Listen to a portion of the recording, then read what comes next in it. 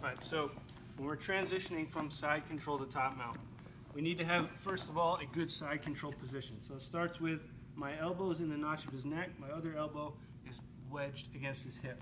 My far side knee is controlling the far side of his hip, and the weight is on the ball of my foot, driving into his chest, putting all my weight chest to chest with him.